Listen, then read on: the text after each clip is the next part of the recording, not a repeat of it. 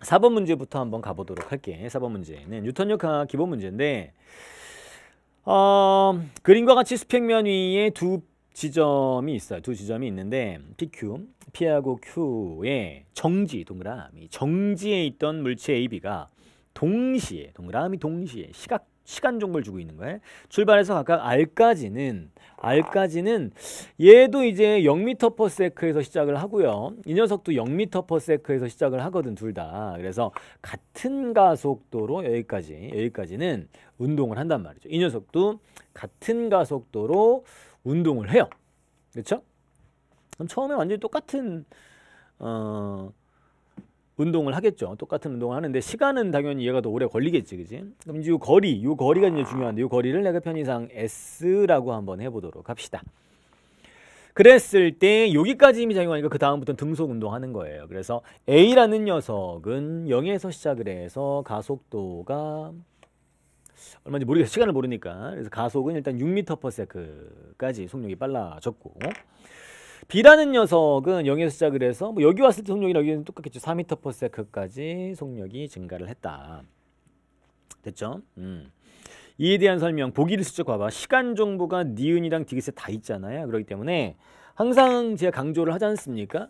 이 등가속도 운동 문제를 어, 풀 때는 항상 모두 VT 그래프를 그리는 건 아닙니다만 오해하면 안 돼요. 여러분들이 VT 그래프로 모든 역학 문제가 풀린다는 건 큰 착각이고요.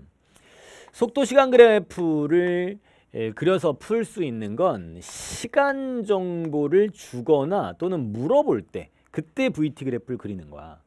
시간 정보를 주지도 묻지도 않았을 때는 VT를 그리게 되면 쓸데없이 시간을 구하는데 여러분들이 에, 예, 시간을 써야 돼. 시간을 구하는데 시간을 소비한다고요. 예. 예, 그러니까 항상 이 시간 정보를 잘 보란 말이야. 시간이 안 나왔다. 그럴 땐 역학적 에너지 보존이라던가 또는 알자이미한 일이 운동 에너지 변화량이라는 일 에너지 정리 이런 것들을 활용하는 게 좋겠습니다. 알겠죠? 명심하도록 하시고요. 자 그렇군요. 음 그래서 뭐 가수도 물어보고 시간 쭉 물어보네. 봐봐. VT 속도 시간 그래프를 그려보도록 하자. VT 그래프를 그리면 아, 두 마리죠. 그렇죠. 두 마리. 같이 그려도 되지만 둘이 지금 정보가 좀 많이 없기 때문에 따로따로 두 개를 그려보도록 할게요. 한 마리, 두 마리 이렇게 따로 그림을 그려서 해석을 해보도록 합시다.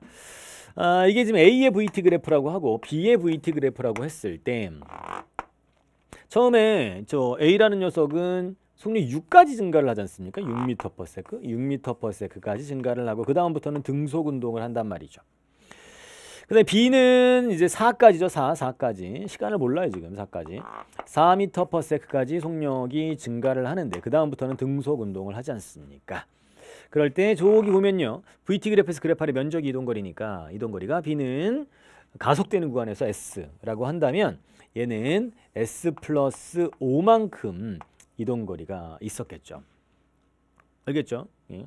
물론 VT 그래프 안 그리고도 풀 수 있어요.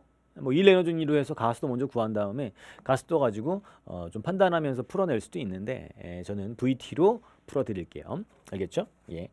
자, 여기 지금 시간을 모르는데 잘 보면 여기가 가속도가 똑같다며 기울기가 똑같다고요. 그러면 이제 우리가 이 가속도라는 것은 델타 t 시간당 속도의 변화량 아닙니까? 그러니까 속도 변화량이 지금 나와 있단 말이죠. 3대 2로. 이게 3대 2면 이게 같으려면 시간도 3대 2여야 돼요. 뭔 소리예요? 얘를 3t라고 잡는다면 얘는 2t구나 라는 거죠. 이렇게 잡는 거지. 근데 나중에는 처음에 동시에 여기 출발을 했는데 나중에 이렇게 따라가서 충돌을 한대. 그때까지 총 걸린 시간이 있었을 거 아니야. 그 총 걸린 시간은 같으니까 뭐 large t라고 한번 잡아보도록 합시다. large t라고 잡았을 때 응? 이렇게 잡았을 때 어... 일단 뭐 가속도가 얼마냐 뭐 이런 거 물어보았고요. 그쵸? 가속도가 얼마인지 물어보았고 그 다음에 시간 Q에서 R까지 음, Q에서 R까지 B가 이동한 시간 뭐 여기 ET 요거 이 T가 얼마인지를 이제 치사내는 게 에, 중요합니다. 알겠죠? 잘 봐봐. 잘 봐봐. 첫 번째 조건이 이거잖아. 그래파의 면적이 S 플러스 5랑 S다. 그럼 여기 평균 속력이 3이니까 면적 구할 때 3 곱하기 3. 즉 9T겠죠. 그쵸? 예. 어, 9T.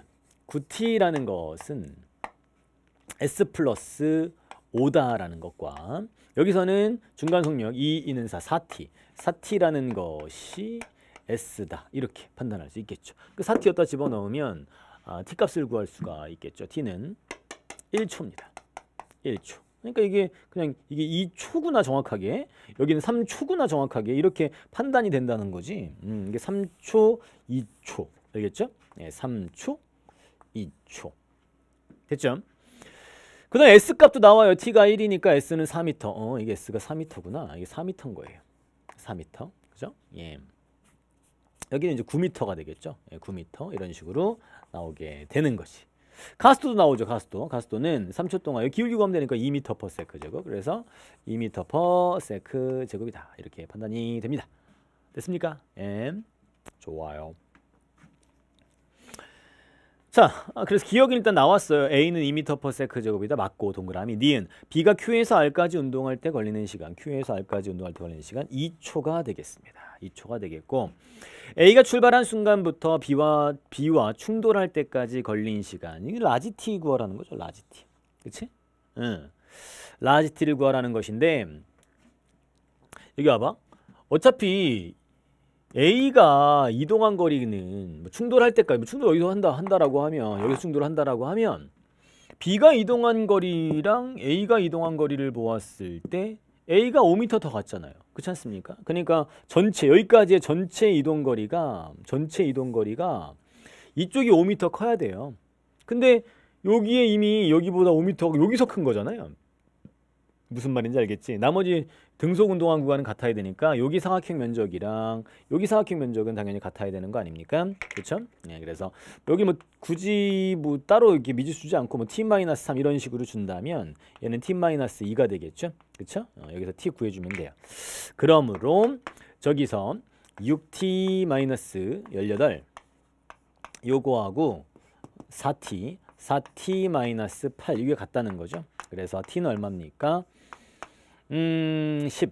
5초네요. 그렇죠? 5초. 5초 후에 둘이 충돌을 한다. 이런 식으로 그래프로 해석을 할 수 있겠습니다. 알겠죠?